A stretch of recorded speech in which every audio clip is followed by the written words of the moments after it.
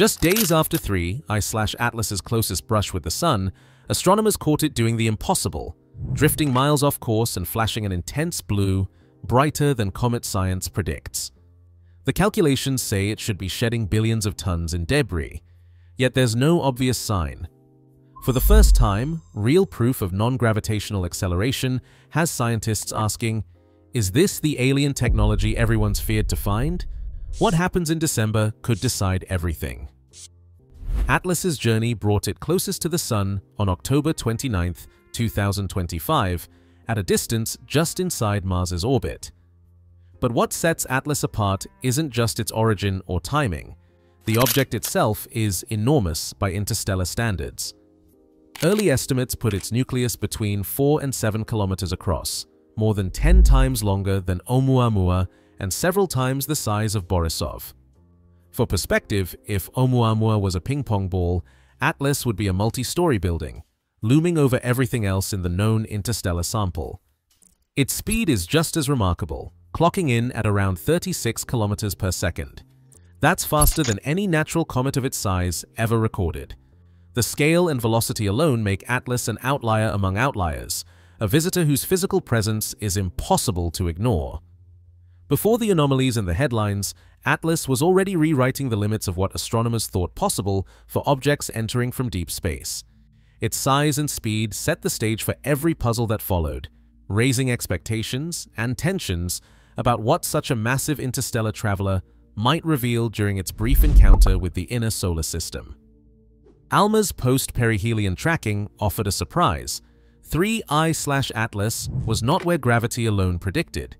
The difference measured about 4 arcseconds, enough to force a closer look at the forces acting on this object. For context, ALMA's typical astrometric accuracy for compact sources is well under half an arcsecond. Here, the team had to account for every known source of error, phase calibration drift, antenna baseline, uncertainties, the motion of Atlas itself across the sky during each integration, and even the effects of solar refraction. Each contribution was modeled and subtracted, with the remaining position shift still far exceeding the combined uncertainties. Cross-checks with independent reduction pipelines, including CASA and MIRIAD, produced consistent results. The offset was real, not an artifact of software or calibrator error. To strengthen the case, astronomers compared ALMA's data to available optical and space-based astrometry, while instruments like SOHO and stereo confirmed the general trajectory. Their pixel scales were too coarse to weigh in on sub-arc second shifts. No published Gaia or NOEMA results were available yet, but the ALMA offset stood alone as the most precise measurement so far. This displacement isn't just a technicality. In orbital mechanics, even a tiny position error can snowball into major questions about the forces at play. When the observed path diverges from the gravity-only solution, the standard approach is to fit for non-gravitational acceleration terms, parameters known as A1, A2, and A3. For Atlas, the magnitude of the offset demanded a non-zero value for at least one of these terms. The implication, something besides gravity, was nudging the object, and the effect was strong enough to leave a measurable scar on its trajectory. Whether that nudge came from comet-like jets or something less familiar, the data forced a rewrite of the predicted orbit.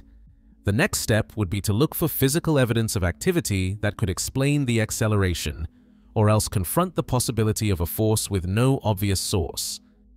Solar observatories caught 3I-Atlas in the act of something few had anticipated. As the comet rounded the sun, its brightness didn't just climb, it soared, following a power law close to R to the minus 7.5.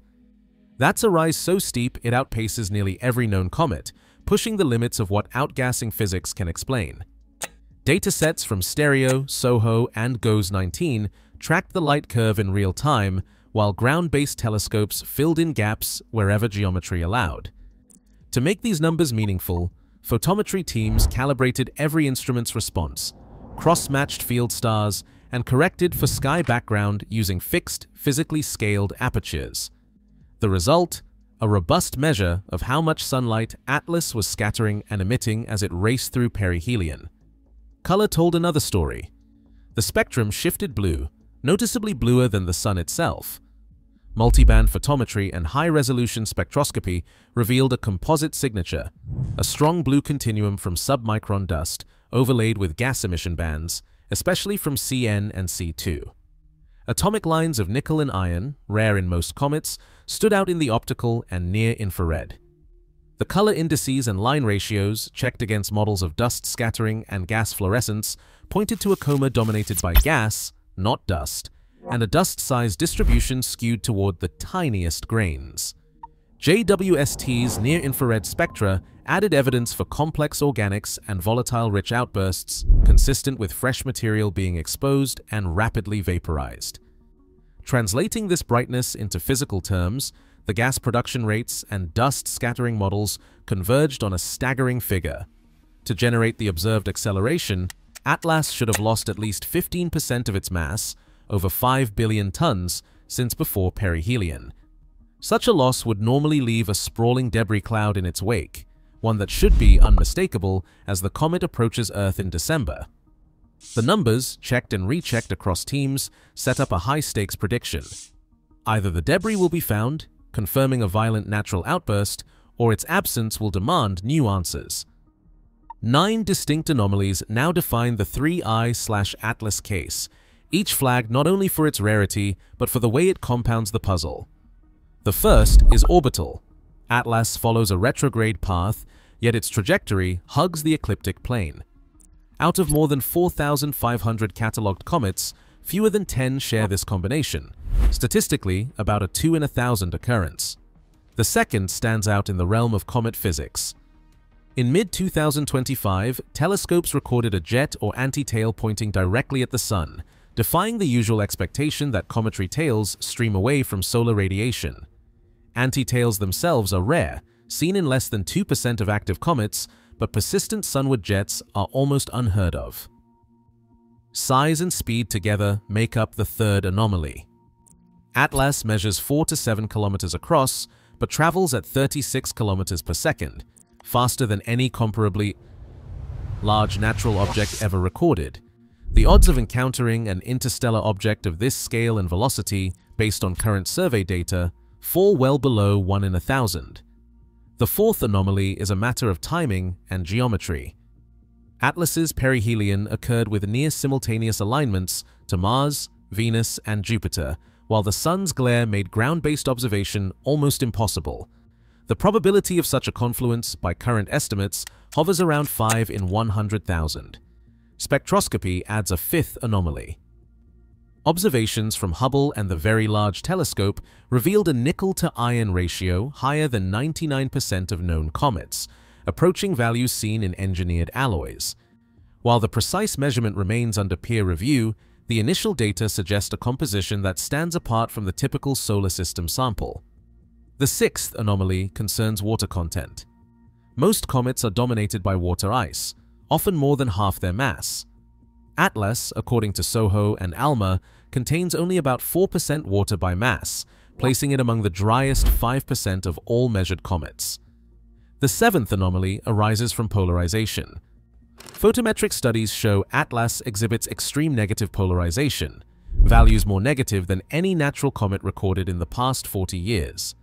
Only three comets in the modern era have approached this level, and none matched Atlas's combination of other traits.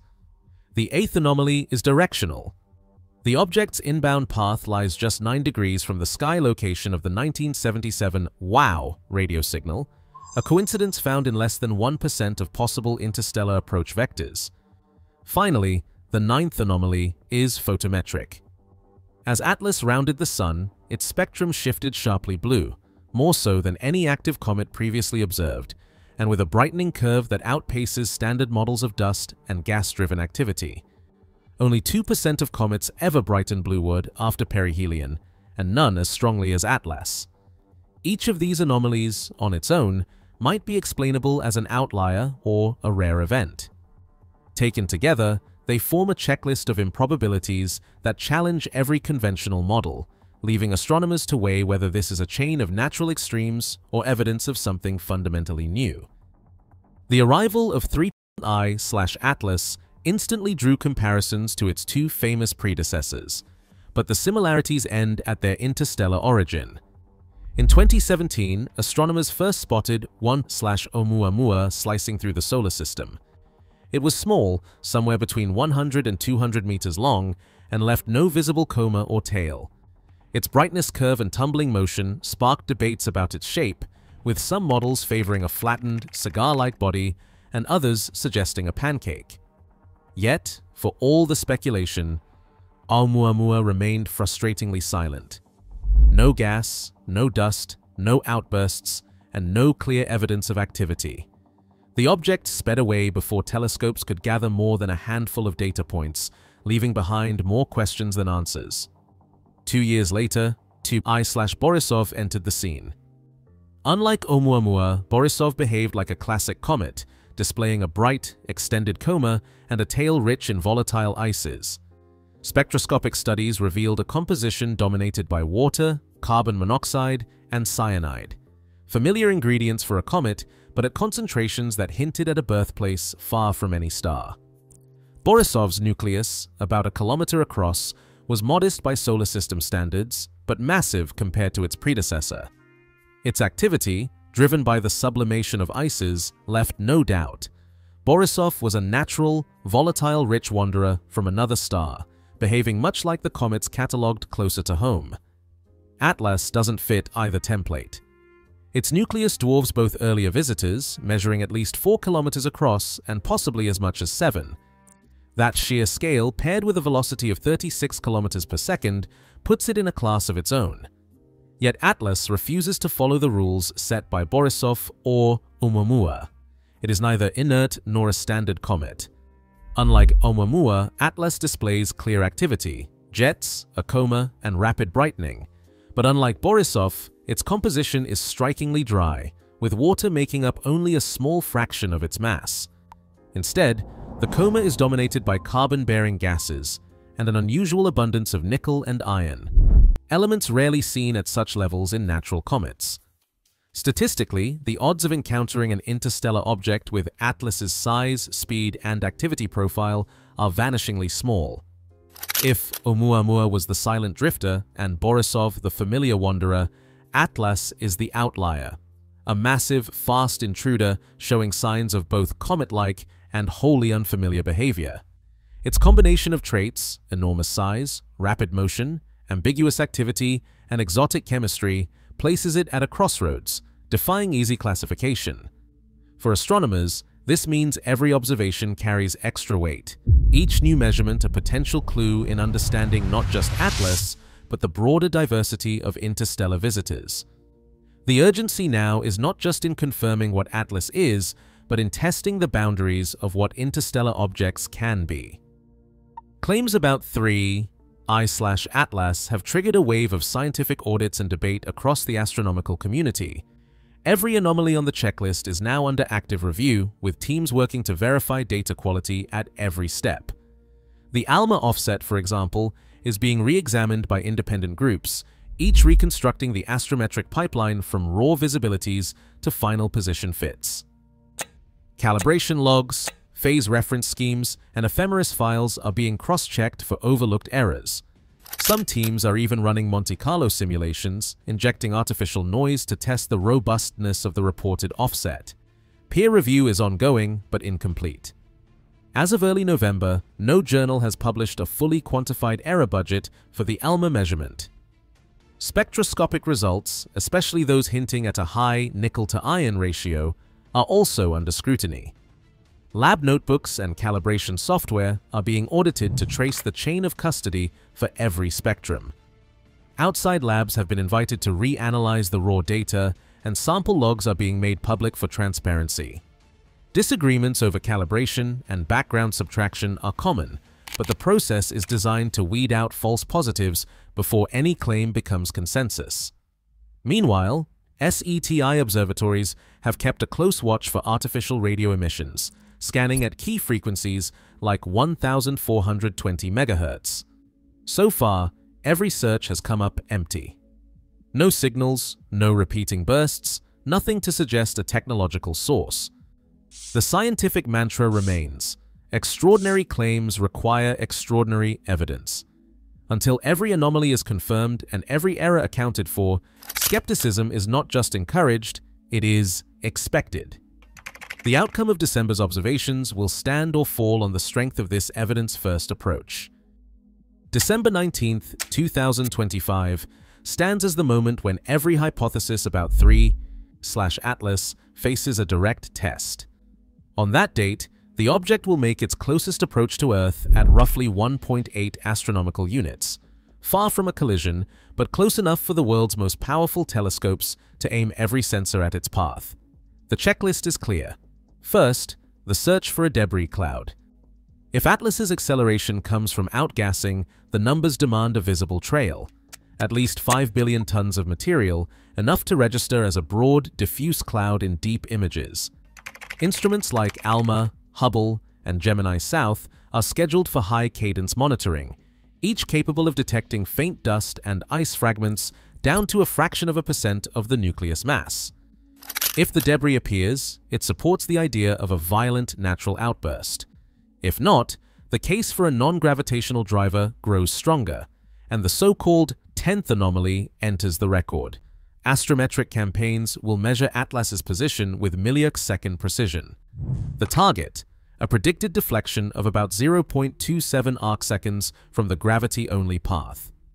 ALMA's array, along with Gaia tie-downs and adaptive optics from Keck and VLT, will track the nucleus night after night. Even a subtle offset could confirm ongoing acceleration, while a match with gravitational predictions would tip the scales towards standard physics. Meanwhile, color and polarization teams some using custom-built polarimeters and hacked CMOS sensors, will watch for any further evolution in the object's spectrum or coma structure. The outcome tree is stark, debris cloud or none, deflection or not. Every anomaly will be checked against the data and every claim will be measured. By the end of December, the world will have answers, either a natural explanation or a new entry in the catalogue of cosmic mysteries. On July 1, 2025, the Atlas survey confirmed 3I-Atlas as only the third known interstellar object.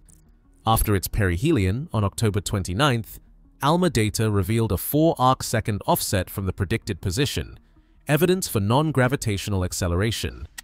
Solar observatories recorded a rapid, blue ward brightening, implying at least 5 billion tons of mass loss, yet no debris cloud has been detected so far. Nine documented anomalies now set Atlas apart from both Oumuamua and Borisov, challenging every natural explanation put forward.